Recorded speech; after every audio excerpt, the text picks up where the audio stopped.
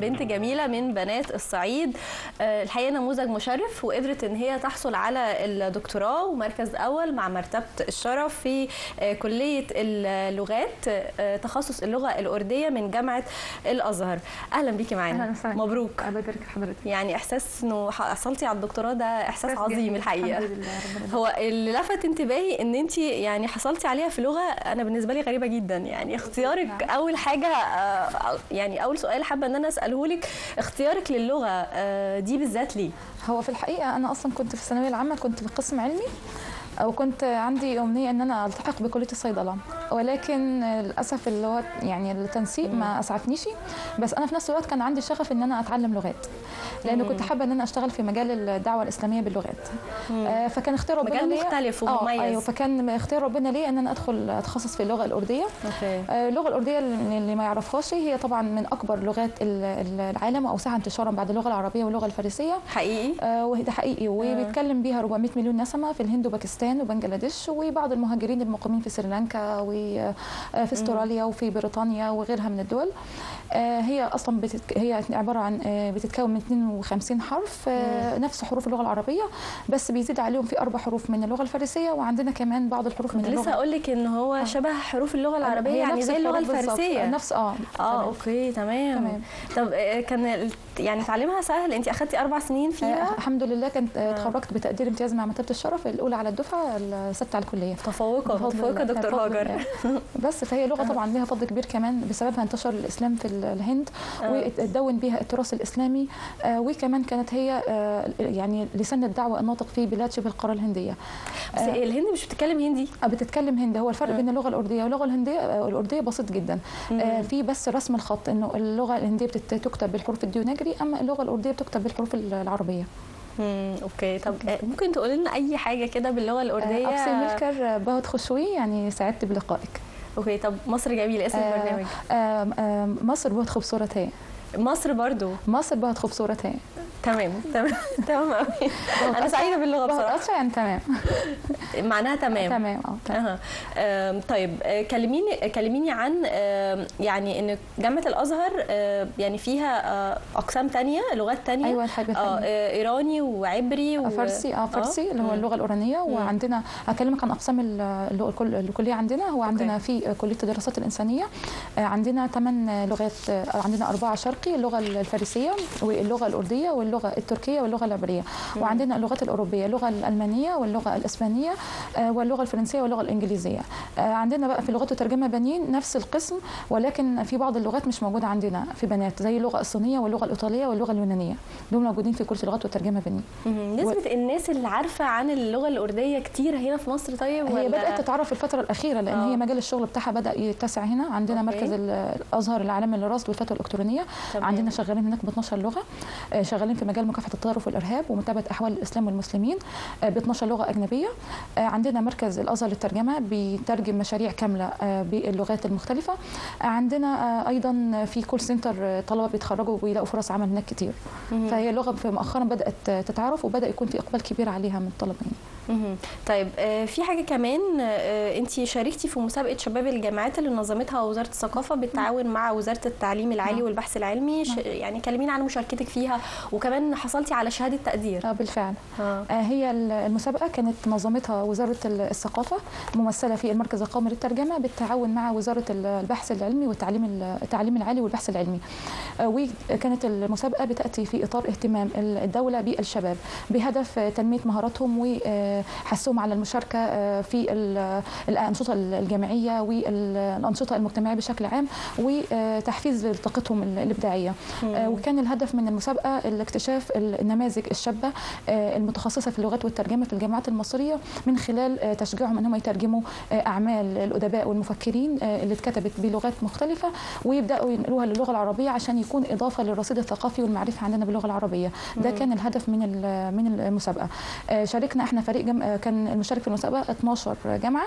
كانت آه. جامعة الأزهر إحدى الجامعات المشاركة. آه، وكان الفريق بتاع جامعة الأزهر بيتكون أربع أعضاء. كنت أنا أحد الأعضاء ممثلة لقسم اللغة الأردية في كلية الدراسات الإنسانية ومعايا اثنين زملائي من كلية اللغات والترجمة ممثل- ممثلين لقسم اللغة الأردية في كلية اللغات والترجمة. وكان المشرف علينا الدكتور أحمد القاضي المستشار الثقافي لمصر آه، في الهند وأستاذ اللغة الأردية في قسم اللغات والترجمة. وبفضل الله ثم بفضل مجهود حضرته معانا حصلنا على مركز ثالث. وتم تكريمنا من وزاره من قبل وزارة ال- الثقافة ممثلة في المركز القومي للترجمة بمبلغ مالي وكذلك تم إقامة حفل تكريم لينا بشهادات تقدير وكذلك آه، تم تكريمنا من قبل رئيس جامعة الأزهر السابق الدكتور محمد المحرصاوي وقبل وتم تكريمنا أيضا من قبل رؤساء الأقسام.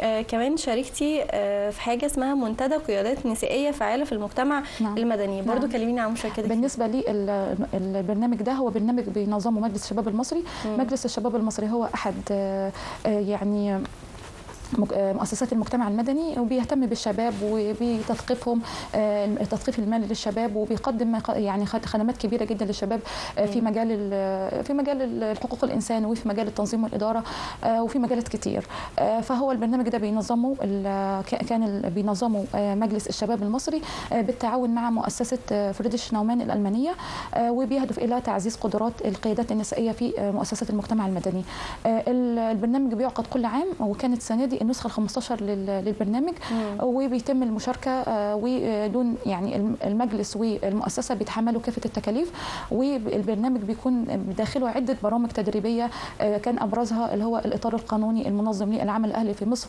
آه، آه، وسائل التواصل والاتصال وإدارة الفريق آه، كتابة المشاريع التخطيط الاستراتيجي وغيرها من من البرامج اللي كانت آه، موجودة داخل البرنامج وفي نهاية البرنامج تم حصول المشاركات على شهادات. تقدير آه، ك يعني تقدير انت انت للمشاركة كل. الحاجات اللي شاركتي فيها كانت بعد ال- الدكتوراه ولا آه، أثناء لا أثناء الدكتوراه أنا محب آه. يعني عندي عندي شغف عندي؟ آه عندي شغف إن أنا يعني إن أنا أطور نفسي وأكتسب مهارات كتير فبحاول آه، يعني مم. وكمان عندي كمان شغف يعني أو بحب العمل التطوعي فبحب أنزل أي مؤسسة تطوعية أو مؤسسة مجتمع مدني زي مجلس الشباب أصلا بتحبي المصري العمل التطوعي جدا طبعا ده عشق من صغيرة. يمكن أنا لما بكون متضايقة أو عندي مشكلة أنا بروح أنزل أعمل عمل تطوعي أو عمل. خيري بتحسي بإيه أو بتستفيدي إيه أو إيه إيه الفيدباك اللي بتعود عليكي في هو الآخر؟ أصلا العمل التطوعي يعني يعني الناس البعض بيعتقد إن هو ده تضييع, للوقت أو إن ده إنما لا، هو مش كده. طبعاً. آه، البعض بيعتقد كده. ولكن هو إحنا لو حسبناها هو الإنسان اللي بينزل يعمل خير هو اولا بيساعد نفسه قبل ما بيساعد غيره وهو بيستفيد أكتر ما بيفيد كمان. لأنه العمل التطوعي ليه فوائد كتير جدا حتى على المستوى النفسي. يعني ال- ال- العمل التطوعي بيحسن الحالة النفسية والمزاجية وبيقلل من التوتر والاكتئاب. لأن الإنسان لما بينزل وبيشارك وبيقدم خير اللي حواليه ده بيخليه يعني بي بيعود ليه بعد كده؟ آه يعني هرمون السعادة عنده بيتفرز في الجسم. فده بيحسسه بال- بالنشوة آه، والسعادة. اسعد غيرك آه تسعد طبعا ده أكيد أساسي يعني. آه كمان برضو أنا ببص للتطوع من منظور شرعي يعني لأنه أنا لما بنزل أتطوع اولا برضو لله عز وجل وبطبق منهج نبوي سيدنا النبي آه قال خير الناس أنفعهم للناس. آه وسيدنا النبي آه آه أيضا قال آه لأن أمشي مع أخي في حاجة أقضيها لي خيرا من أن أعتكف في مسجد هذا. فالدين الإسلامي حث على التطوع وحث على الأعمال الخيرية وإن ده بيعود على الإنسان بالنفع في الدنيا والاخره يعني. جميل قوي إن أنت عندك هدف ورسالة. آه، يعني دي حاجة لله. حاجة مميزة جدا بالنسبة لك. آه، لسه في حاجات كتير أنت شاركتي فيها بقى. يعني عايزين نتكلم عنها أو عن أغلبها. منتدى حوار الثقافات اللي نظمته الهيئه الانجيليه كلميني عنه آه، هو المنتدى ده كان في إطار التعاون المثمر بين آه، الأزهر الشريف ممثل في مرصد الأزهر وبين الهيئة الانجيليه في الإسكندرية. مم. الهدف من ال- المنتدى آه، تعزيز حوار آه، يعني ثقافة ال- الحوار وبناء آه، حوار آه، بين ال- التيارات الفكرية ال- وال- والثقافية والدينية المختلفة والمنتدى كان تم آه، انعقاده في آه، مدينة الإسكندرية وكان على مدار السنتين كان بتعقد كل ثلاث شهور آه، محاضرة كانت بتستمر يومين. وكان بيشتمل بيشتمل على عدة برامج تدريبية كان أبرزها آه، تعزيز ثقافة ال- ال- الفكر الوسطي ال- المعتدل آه، نبذ العنف آه، محاربة الفكر المتطرف اللي بيشوه صورة الإسلام وتعزيز آه، ثقافة ال- تقبل الآخر واحترامه. كمان انت شاركتي آه، في النسخة الثالثه من منتدى اسمع واتكلم اتكلم اللي. بيتكلم في مواجهة الفكر بالفكر آه، نعم. وتصحيح نعم. الخاطئ لمفاهيم الدين. آه. آه، برضو عايزين آه، نتكلم هو عنه. قبل ما اتكلم عن المنتدى حابة اتكلم سريعا عن مرصد الأزهر لأن ال- المنتدى ده من مبادرات مرصد الأزهر الشريف. آه. مرصد الأزهر الشريف هو يعتبر أحد مؤسسات ال- الأزهر وهو زي ما وصفه فضيلة الإمام هو عين الأزهر الناظرة على العالم. مم. هو تأسس في عام 2015 وكان الهدف منه آه، رصد ومتابعة وتحليل والرد على الخطاب المتطرف ب 12 لغة أجنبية المرصد ليه أنشطة كتير ليه أنشطة إلكترونية بتتمثل في مجموعة من المقالات والتقارير والدراسات والبحوث والحملات التوعوية اللي بننش- بننشرها ب 12 لغة آه، على آه، منصات التواصل الاجتماعي للمرصد.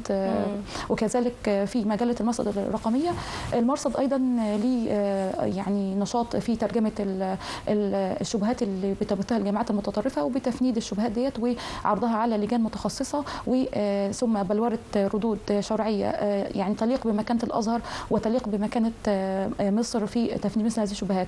آه، المرصد أيضا ليه جهود آه، ميدانية آه، ويأتي المنتدى اسمع وتكلم ضمن الجهود الميدانية لمرصد الأزهر. آه، المنتدى عقد ثلاث آه، ثلاث مرات. مم. السنة دي آه، في شهر خمسة كانت النسخة الثالثة. النسخة الثالثة النسخة الأولى كانت 2024. النسخة الأولى كانت في 2018 والنسخة الثانية كانت في 2022 والنسخة الثالثة كانت في 2024 شهر مايو الجاري وكان الهدف من من المنتدى إن إحنا نسمع الشباب إن نعرف مشاكلهم إن إحنا نحتويهم علشان ما يكونوش فريسة سهلة في إيد الجامعات المتطرفة. جميل قوي وبنخرج في النهاية طبعا بنتائج وتوصيات وعلى أساسها بنعمل المنتدى العام القادم شاء الله. بتحسي بعد ما يعني مثلا لو هنتكلم عن ال ال يعني النتائج آه، اللي شفتيها بعد ما شاركتي مثلا في النسخة الثالثة منتدى اسمع واتكلم. بتشوفي بعد كده بقى يعني انك أثرتي إن إن إن فعلا آه، الم- المشاركة دي آه، أثرت في ناس تانية؟ أيوه طبعا أكيد. لأن إحنا كلنا إحنا بنكمل بعض.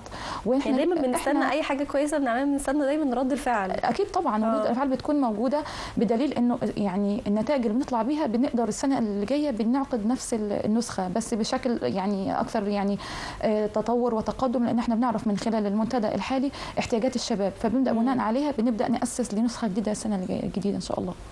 في حاجة كمان جميلة قوي انت عملتيها وشاركتي فيها ولازم نذكرها برضو في حلقتنا النهارده. انت كمان شاركتي في تعبئة مواد غذائية لأهلنا وأشقائنا في آه، غزة. آه، آه، تمام. هو طبعا كانت المبادرة ديت تبع أو أطلقها مجلس الشباب المصري اللي هو أحد مؤسسات مؤسسات المجتمع المدني. زي ما أشرت في بداية الحلقة هو كان ليه حقيقي دور فاعل وبارز وإيجابي في مساعدة أهل فلسطين. وده تمثل في اجراءين الإجراء الأولاني اللي هو إرسال قوافل مساعده واللي كان من ضمنها تعبئة ال- الكراتين الغذائية اللي إحنا شاركنا فيها وتم إرسال هذه ال- المساعدات لأهلنا في غزة كذلك برضو الإجراء الثاني اللي قام به المجلس آه، الشباب المصري كمساعدة لأهلنا في فلسطين ان هو. أطلق حملة تبرع بالدماء وتم إرسالها لإسعاف المصابين في غزة. انت عندك كلام كتير قوي أكيد. يعني تقدري تقو- تقولي إيه لل- للشباب آه، وخصوصا كمان اللي يعني عندهم أفكار زي ما ما قلتي مش حابين الأعمال التطوعية وإن هم شايفينها إن هي تضييع وقت أو مش بتفيد حاجة. وكمان آه، في كل حاجة بتقدمها الدولة من مبادرات وفعاليات ومش بيبقى في إقبال قوي عليها من قبل ال- الشباب. تقولي لهم إيه؟ آه، في الحقيقة طبعا الشباب هم أصلا روح المجتمع وأنا شايفة إن هم الوقود اللي بيتحرك بالمجتمع وإن هم عندهم قدرة كبيرة جدا على التغيير والتأثير الإيجابي في المجتمع. لذلك أنا بنصح كل شاب مصري أصيل إن هو يستثمر وقته آه، ويستثمر طاقته وفيما يعود بالنفع عليه على بلده وعلى مجتمعه وده مش هيتاتى إلا من خلال مشاركته في الأعمال التطوعية والأنشطة المجتمعية والمبادرات اللي بتقدمها الدولة لأن ده بيساعده اولا إن هو بيثقل مهاراته مم. بيكتسب آه، مهارات جديدة بيعزز قدراته وبيحسن من آه، آه، مهاراته التواصلية وفي. النهاية هيقدر يشارك مشاركة إيجابية في رسم مستقبل مصر أنا بشكرك جدا شرفتينا ونورتينا حقيقي نموذج مشرف ويستاهل. إن إحنا يعني نت- نتكلم معاكي ونسمع منك. ربنا يبارك في حضرتك. شكرا. ليكي دكتور هاجر أدري دكتوراه في اللغة الأردية من جامعة الأزهر كلية دراسات إنسانية. شكرا تمنيت لك بدام التوفيق. شكرا جزيلا. وصلت معاكم لنهاية حلقتنا. استنونا كل يوم مع فريق عمل جديد في مصر جميلة